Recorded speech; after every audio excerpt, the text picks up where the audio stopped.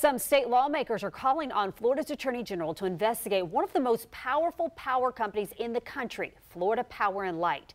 Their concerns come from several recent scandals involving FP&L, including where your money may be going and allegations of spying on a local journalist who had investigated FP&L's bid to buy JEA.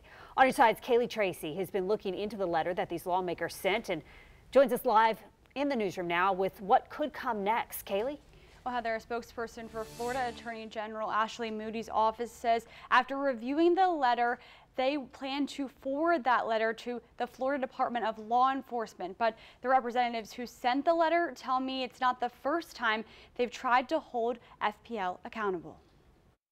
Their job is to deliver power and electricity to Floridians. Their job is not to undermine democracy, spy on journalists. Florida Representative Anna Eskamani and three other lawmakers, all Democrats, sent a letter to Florida Attorney General Ashley Moody Thursday requesting Moody investigate Florida Power and Light. My hope is accountability. Reporting by the Orlando Sentinel, the Florida Times Union, and the Miami Herald uncovered that FPL has donated to political campaigns that its consultants supported supported ghost candidates in the 2020 election to take away votes from legitimate candidates and paid for a news website that was pro FPL, and that one of its consultants is linked to surveilling Jacksonville journalist Nate Monroe, seen here in this picture taken without his knowledge. Monroe investigated FPL's bid to buy JEA. All of it is very disturbing, um, but there's always this far line between what is illegal versus what is unethical. Eskamani says they also sent a letter to the Public Service Commission at the beginning of the year asking for an audit of FPL's finances.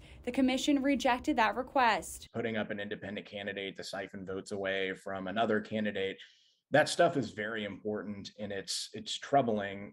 It's also uh, you know that that photo it just kind of like tells a story by itself doesn't it? Monroe referencing this picture taken of him and his now wife without his knowledge says he's glad some lawmakers take issue with surveillance of journalists but he wishes more did. The company's influence looms large over everything in tallahassee and FPL sent us a statement saying in part, quote, FPL has never used customer dollars to participate in the political process or lobby on our co company's behalf. And any accusation that claims we do is uninformed and false. Back to you.